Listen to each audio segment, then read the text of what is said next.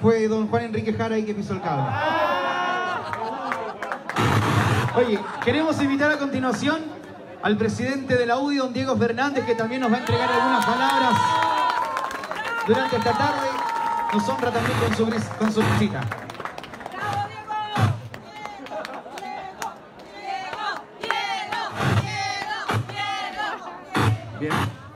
Muy buenas tardes, estimado intendente, su señora esposa, estimada Paulina, José Miguel. ¿No se escucha? ¿Ahí sí? ¿Ahí sí o no? Ahí sí. Bueno, queridos amigos y amigas, nosotros en la UDI, la Unión Demócrata Independi- Independiente, estamos aquí presentes para poder acompañar y despedir a un gran intendente que hemos tenido en este gobierno, el presidente Sebastián Piñera, y que es Marco Antonio Díaz.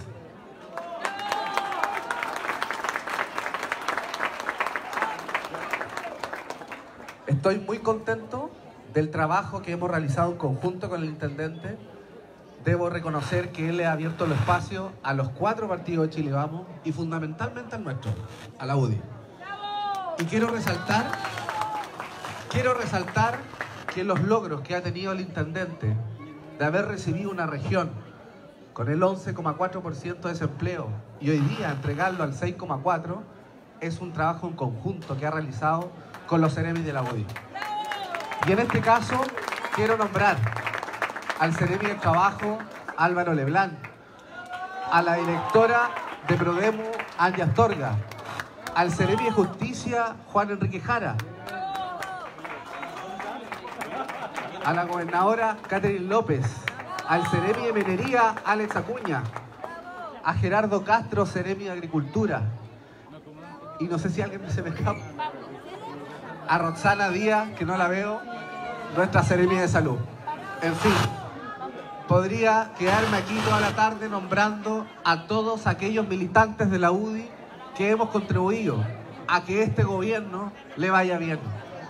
Porque necesitamos que a nuestra gente, a la gente de la clase media, a la gente que la UDI siente su sentido popular, le vaya bien.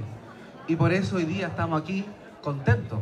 Más allá de finalmente quién va a ser el candidato, estamos aquí para acompañarlo, intendente, para darle las gracias y cuenta con nosotros en lo que estime conveniente, indistintamente de los resultados electorales. Muchas gracias.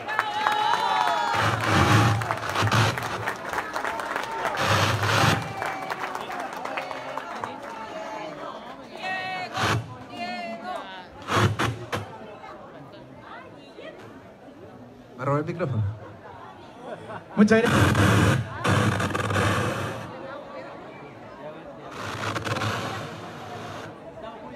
Ok.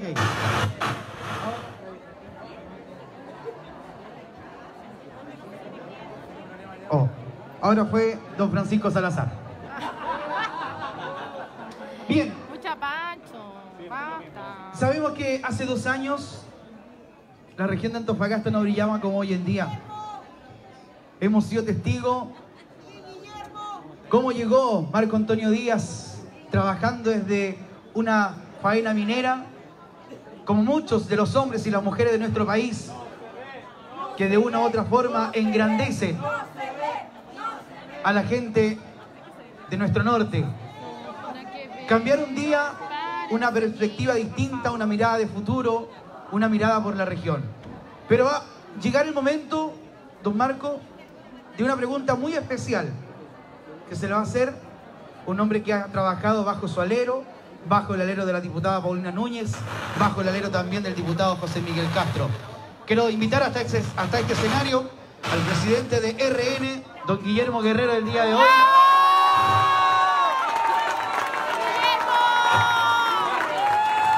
Gracias.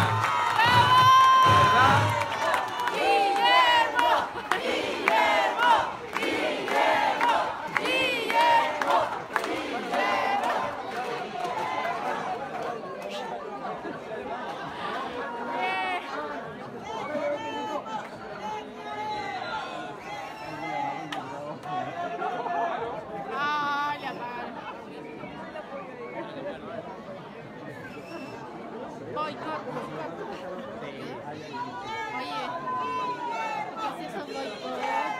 Guillermo,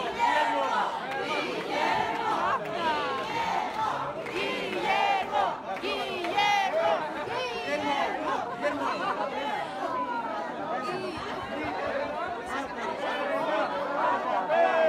a capela, a capela.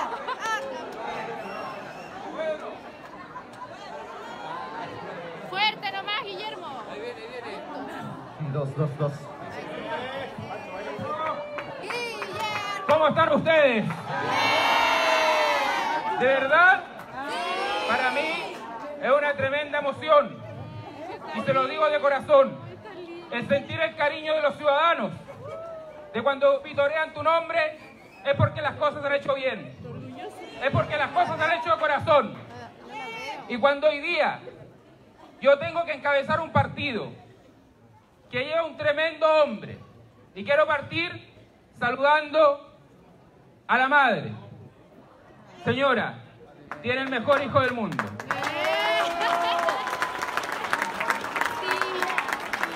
A su padre, a su padre, señor intendente, que estoy seguro que desde el cielo está orgulloso, porque usted ha sido el líder de una de las regiones más postergadas, y estoy seguro que él va a trascender con el hombre que tiene y con el hijo que dejó en la tierra. A sus hijos, que son parte fundamental de su familia, que cada vez que lo escucho habla de corazón y habla con un amor hacia ellos. Y porque le tiene amor hacia ellos, hoy día usted va a tomar una decisión. Y por supuesto, a su señora esposa, que al final es la que toma la decisión. Hay que decirlo. Hay que decirlo. Sarita, ¿qué quiere que le diga? Yo de verdad estoy tremendamente emocionado. Porque desde el día primero que la conocí, esas ganas que he tenido de ayudar. Cuando le hemos ido a golpear la puerta con un caso social, usted ha estado ahí. Y yo sé que va a ser la mejor esposa de nuestro gobernador regional. Quiero saludar, por supuesto, dos grandes referentes de nuestro partido. A mi amiga personal, a quien yo sé que ustedes quieren por su trabajo. Y por supuesto, yo siempre lo he dicho, soy Paulino Núñez, con mucho orgullo. Paulina Núñez, gracias amiga mía, gracias.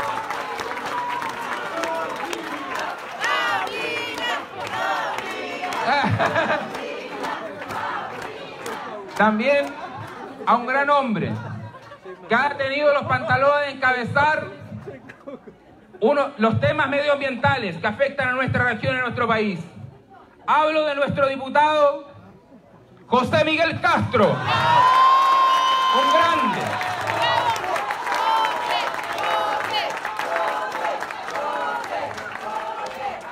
Quiero saludar también a nuestro alcalde Mejillones, Sergio Vega, a nuestra core Catherine San Martín.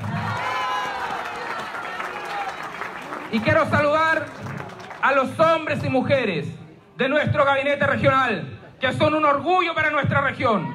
Un aplauso quiero para ellos.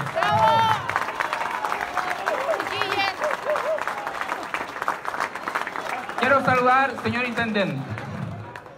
Este cariño no es que lo armamos. Este cariño es espontáneo. Por eso han venido desde las nueve comunas los ciudadanos a saludarlo. Quiero saludar a Calama, Mejillones, Sierra Gorda, Oyagüe, Tocopilla, El Loa, que se han dado el tiempo de venir. Quiero saludar a mis correligionarios, que es un tremendo orgullo ver las banderas azules flamear. Porque es maravilloso, es maravilloso tenerlo. Pero también tengo que ser justo. Saludar a mis colegas presidentes de los demás partidos, porque han tenido la humildad de hoy día estar acá. Quiero, quiero felicitar a Slainer, Diego, Vladimir, que han tenido la hidalguía de hoy día estar. Presidentes, este no es un proyecto de renovación nacional, este es un proyecto común. ¿Y por qué Marco Antonio Díaz? Porque Marco Antonio Díaz, le pido ahí que me ayude mi secretario. A ver, porque Marco Antonio Díaz, amigo. Porque te vimos llorar en Tocopilla cuando tenías que sacar a los mineros. Porque te vimos embarrado cuando tuviste que enfrentar en el LOA la catástrofe. Porque has tenido los pantalones. Y lo digo francamente, cuando los dejaron una, una región con el más alto desempleo, tuviste la capacidad y liderazgo de levantarla y crear 19 mil empleos nuevos. Eso se agradece. Cuando has firmado un proyecto de compromiso ciudad y le has exigido, y has tenido los pantalones para decirle a la empresa que vengan a invertir a nuestra zona y que somos zona de sacrificio, decirle señores, aquí se quedan, pero aquí contratan nuestra gente. Eso es tener liderazgo, eso es tener los pantalones. Cuando, y yo estoy seguro que mucha gente aquí lo refleja el video, cuando en lo personal, Marco Antonio amigo, ido a golpear la puerta de tu oficina, la has abierto. Cuando uno observa que llegas a la intendencia y saludas desde la persona que hace aseo al jefe de división, créeme que no hay más gratitud, porque representas lo que yo hoy día quiero, es el pueblo, es la gente más humilde, es la gente que necesita esperanza, la gente que necesita vivienda, la gente que necesita trabajo, la gente que necesita educación. Y yo creo que tú eres el hombre. Yo lo escuchaba y hoy día lo dejé para el final, lo mejor. Quiero saludar a nuestros adultos mayores.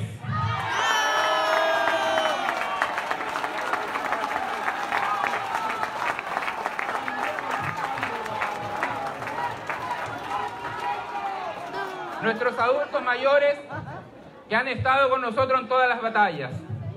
Humildemente les agradezco de todo corazón siempre estar a nuestro lado, de decirnos y corregirnos, de cuando andamos en actividad de retarnos, cuando hacemos las cosas mal. Porque el cana no es ser viejo, es tener experiencia. Y eso tenemos que nosotros grabarlo en el alma. Yo lo digo con orgullo, al igual que mi colega Schleiner lo dijo recién. Nosotros, para los PNDR, teníamos un presupuesto de 4 mil millones que entregábamos a las organizaciones sociales.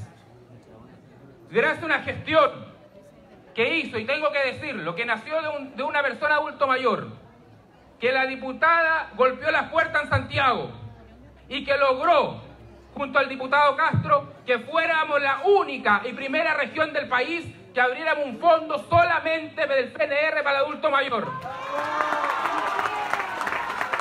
Créeme, Paulina, diputado José Miguel, es un orgullo y gracias, porque le vas a permitir y le permitieron a muchos adultos mayores irse a Lima, irse a Santa Cruz, irse a Coyhaique, otros se fueron a Rapa Nui, la más patúo.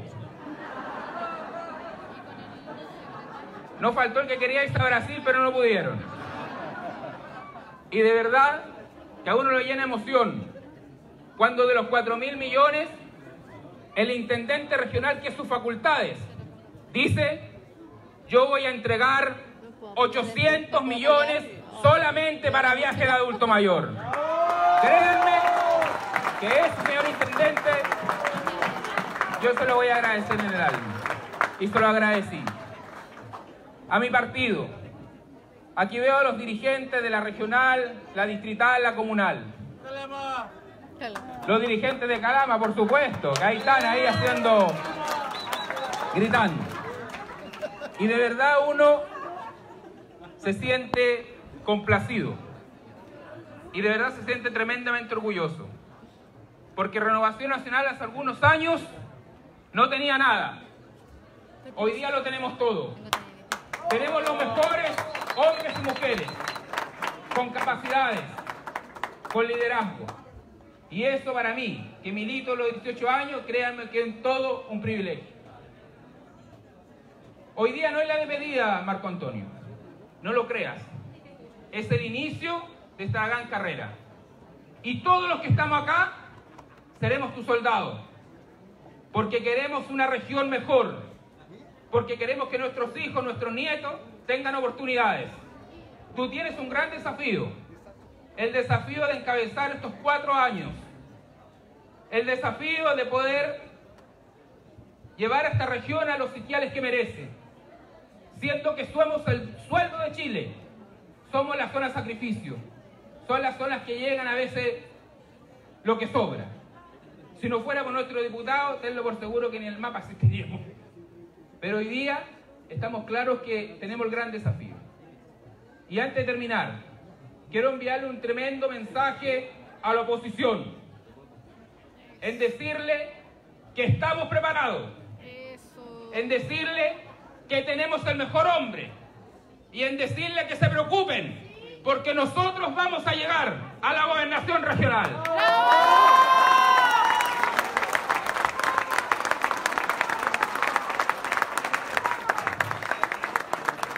Hay que decirlo, Marco Antonio.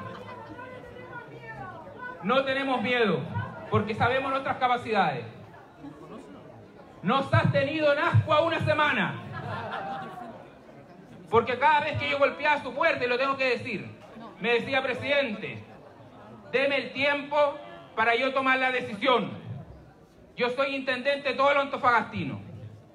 Y me, estas palabras me quedaron en el corazón, porque no politizaste tu cargo. Y me decías, presidente, no me haga tomar una decisión apresurada. Quiero terminar en los tiempos porque yo represento a todos los autofagastinos, moros y cristianos. Y eso de verdad que hablo muy bien de ti. Pero la pregunta tengo que hacerla. Marco Antonio, ¿estás dispuesto a asumir este gran desafío que te está pidiendo Renovación Nacional y que sabemos que los demás partidos lo van a hacer, de ser nuestro candidato y nuestro próximo gobernador regional? Te pido que nos des la respuesta, porque la respuesta la queremos escuchar. No solo el partido, los hombres y mujeres independientes, los dirigentes sociales, dirigentes de campamento que hoy día están acá, los dirigentes junta de vecinos. Nosotros queremos escucharte. Queremos saber si tú nos vas a dar el privilegio. Y te lo digo de todo corazón. Tú sabes que yo siempre he hablado con el corazón. De verdad te quiero dar las gracias.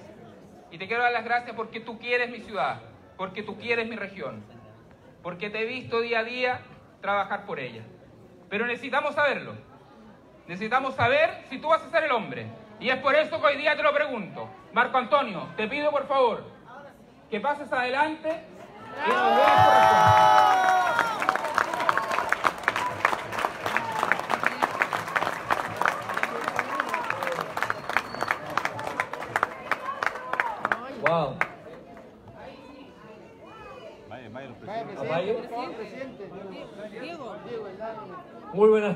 a todas y a todos.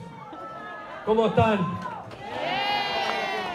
Para los que me conocen, soy un hombre que se caracteriza por no evadir ninguna pregunta. Y la voy a responder, señor presidente.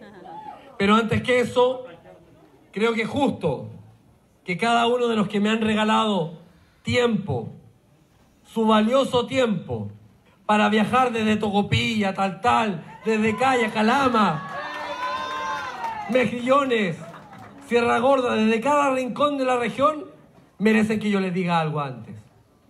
Merecen conocer quién es la persona que ha liderado los destinos de la región durante un año y medio, un año ocho meses. Pero más allá del cargo, porque señores, señoras, los cargos van y vienen. La convicción, el coraje no se compra en la esquina. Está mi madre. Soy hijo póstumo. Mi padre falleció cuando mi madre tenía dos meses de embarazo. Profesora. Crecí viendo su esfuerzo. Trabajaba en dos colegios. Y al llegar a casa hacía clases particulares. Porque tenía una convicción y siempre me voy a acordar, tenía la edad de mis hijos. Que la educación era la única forma de salir adelante. Mamá, gracias. Porque con tu esfuerzo, primero en una escuela pública, después en un colegio privado y después en una universidad, me ayudaste a formar el hombre que hoy día soy. No me faltó padre.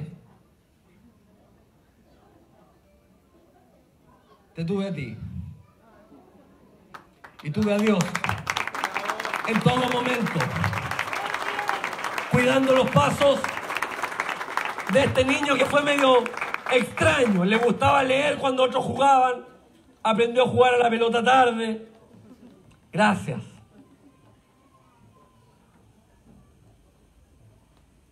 Ha sido una carrera de esfuerzo la que me ha llevado hasta acá. No ha sido fácil. Fui padre joven. Mi hijo que se acaba de ir al doctor estuvo hasta unos segundos acá. Tercer año de odontología. Fui padre en la enseñanza media y es bueno que lo sepan. No vengo a vender un modelo de éxito. Vengo a mostrar que soy uno como ustedes, pero que tengo el coraje para asumir un desafío por una mejor región. Tal cual.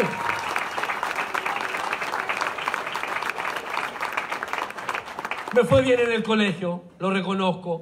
Era deportista, no sé si estudiaba mucho, pero las notas me acompañaban. En la universidad lo mismo. Me perfeccioné y nunca entendí, y lo reconozco, nunca entendí por qué un abogado, después un MBA, después estudiando en China, pero trabajaba en relaciones laborales, pero lo ocupaban para cualquier cosa que significara arreglar problemas. Una amalgama rarísima que demuestra eso. Que nunca me afirmé en un cargo ni en una profesión, porque somos personas. Somos mucho más que las etiquetas que la sociedad les gusta colocarnos. Somos jóvenes, mujeres, hombres, que todos los días se levantan para hacer de esta región una mejor región. No conozco ningún habitante de esta región que se levante a hacer el mal. Y para ellos vayan mis respetos. Para los que han luchado antes, como un gran hombre que nos dejó y mi respeto para Luis Pacase.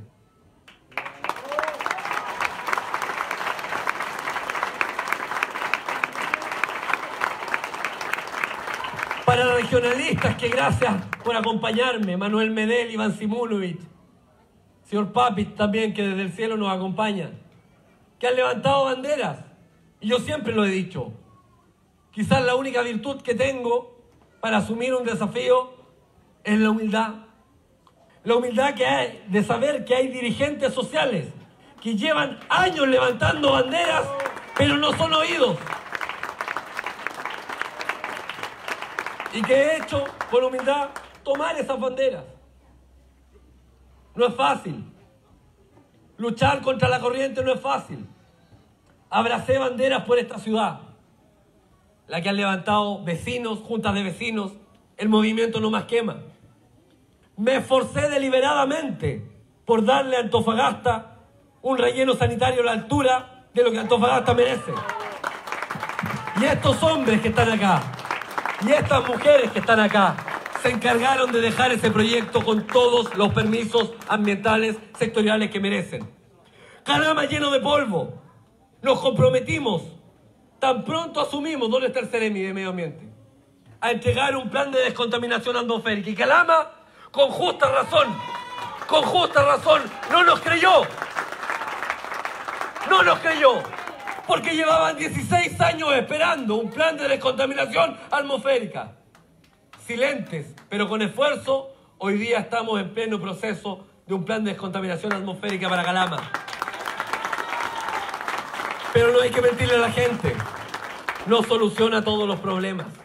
Hay que seguir trabajando y con humildad seguir escuchando. Tal, tal. 16 años en tal, tal sin que se construyera una vivienda.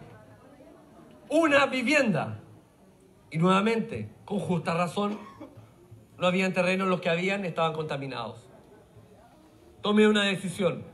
Junté a mi equipo y les dije, si no hay terrenos, vamos y compremos terrenos. Y acá, públicamente, quiero agradecer a los consejeros regionales de mi sector y a todos quienes apoyaron esa iniciativa que hoy día nos permite estar construyendo viviendas en Taltal y en Tocopilla. Comunidades a las que se le había dicho que no se podía, sí se podía.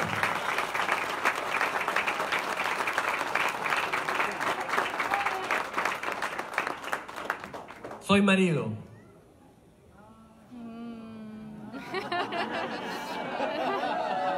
Y en la casa tengo la última palabra. Sí, mi amor. Amor para ti. Gracias por acompañarme. Gracias por todo, por aceptarme como soy.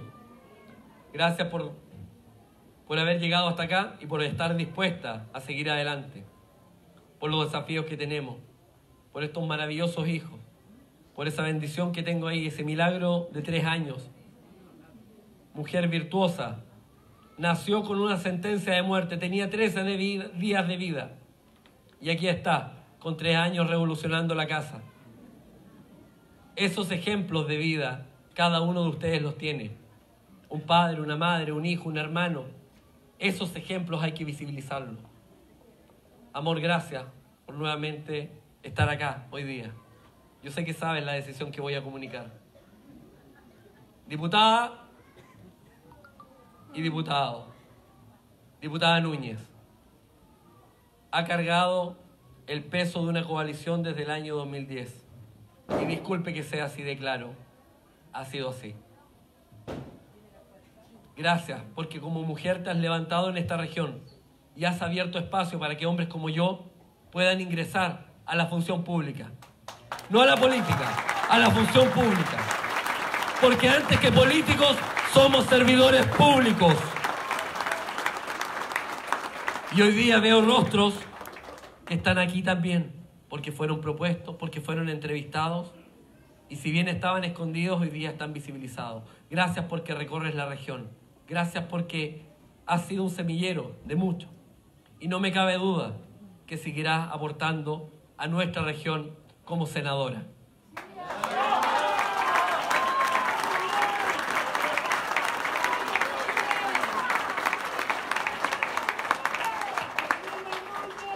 Diputado Castro, gracias por su amistad primero que todo.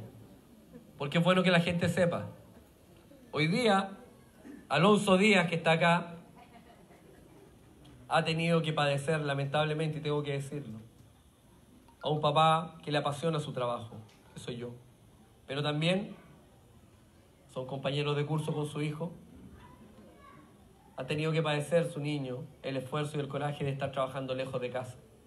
Ya con ese solo hecho, que insisto, lo hace igual a muchos de los que están acá, yo quiero reconocerlo públicamente, porque ese esfuerzo no es fácil. Estar lejos de la familia no es fácil. Y usted ha logrado hacerse un espacio en la política, a su corto andar, capturando banderas que los mismos ciudadanos han levantado. Este aplauso de la gente es para usted. Porque también tiene desafíos, diputado. También tiene desafíos. Y no me cabe duda que va a estar a la altura de ellos. A cada uno de los presidentes de nuestros partidos, gracias por su generosidad. Gracias porque han entregado los hombres y mujeres que han permitido que hoy día tengamos la gestión que tenemos. Tenemos que sentirnos orgullosos, por favor. 10,9 de desempleo en la región. La capital minera del mundo, un 11,9. 11,9. Calama, llegaste a tener un 12,4 y eres el principal productor de cobre del país. ¿Cómo podíamos vivir en una región? ¿Cómo podíamos decir paso? Había que gestionar y hemos trabajado. Hemos reactivado proyectos, hemos destrabado inversión, hemos invitado a empresas a que abracen el compromiso región, pero también hemos interpelado a aquellas quienes no quieran sumarse. Que le digan a ustedes, ¿por qué no están disponibles a contratar mano de obra local, mujeres y personas con discapacidad? Porque no nos da lo mismo en esta región que se creen empleos y se vayan a otras regiones del país. Porque me avergonzó por mucho tiempo estar en el primer lugar del ranking de desempleo, siendo la región que por lejos más empleo creábamos. Me dolía. Y es por eso que decidimos decirle a las empresas, abracen esto, contraten gente de nuestra tierra. Y no por un compromiso ni por un favor, porque les conviene económicamente. Y en eso quiero agradecer a cada uno de ustedes que me han permitido llevar adelante estas banderas, sus banderas. Y hoy día, de cara a un desafío complejo, difícil, desde lo familiar, desde lo personal, desde lo económico, etc. Quiero decirle a cada uno de ustedes, a los presidentes de partido y especialmente a usted, presidente, que me lo ha pedido incansablemente, que de manera irrevocable he decidido aceptar el desafío de ser candidato a gobernador regional por la más poderosa región del país, la región de Antofagasta, por cada uno de ustedes, por cada uno de ustedes, no por mí, por ustedes, por cada uno de ustedes, por el Loa, por Tocopilla, por Mejillones, por Tantal, por Sierra Gorda, por María Elena, por Paposo, por cada rincón de nuestra región. Y escúchenme bien, y escúchenme bien, porque hoy día lo dije. Escúchenme bien, porque hoy día lo dije. Si soy, con el debido respeto, si soy un candidato de consenso, les agradeceré enormemente por esa generosidad, por esa altura de miras. Sería un reconocimiento a que han visto en mí quien puede encarnar los desafíos de la región. Si la opción es una primaria, también se los agradeceré. Pero les advierto, la voy a ganar. La voy a ganar.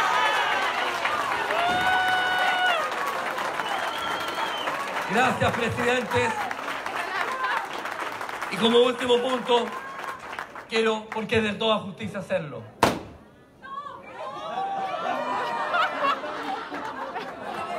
Espérenme, cuando dije voy a ganar me refería a cuando sea el momento.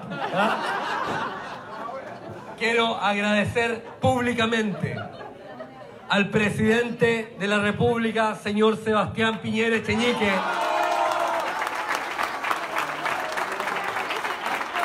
que no teniendo por qué confiar en alguien que venía del mundo privado, puso fe en la convicción que puse en esa entrevista y deseó y confió en depositar en mí la enorme responsabilidad de liderar esta región en su nombre.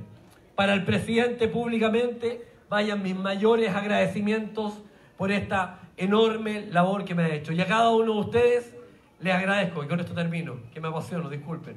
Es parte de lo que van a tener que empezar a, a convivir. Gracias, gracias y enormes gracias. Tenemos un enorme, una enorme tarea que ir a hacer. A partir de ahora, estar en la calle, dejar el zapato de suela, ponernos la zapatilla, dejar el traje, ponernos la polera e ir a buscar a cada uno de esos ciudadanos que hoy día tiene un problema y que tiene que confiar, sí o sí, que hay un grupo de hombres y mujeres que han creído que pueden cambiar la historia y llevar a Antofagasta al final que merece. Un Antofagasta descentralizado. Un Antofagasta que no pida permiso para ser grande. Un Antofagasta que no tiene que demostrarle nada a nadie. Ya dio la prueba de la blancura hace harto rato. Somos la mejor región del país y lo vamos a demostrar junto a ustedes. Muchas gracias y que Dios los bendiga.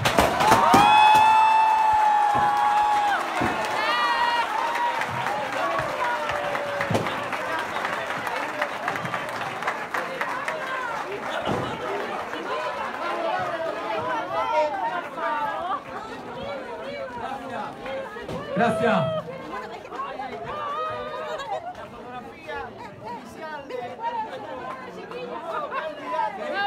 No, no, no, espere, espere, espere. Esto no va a ser posible sin ellos. La foto no es para nosotros, la foto es con ellos. Así que Acá, mirando para acá, abajo, abajo, abajo. La foto con ustedes. No sé, arriba, arriba. Sí, desde arriba ustedes, tiene que ser con ellos.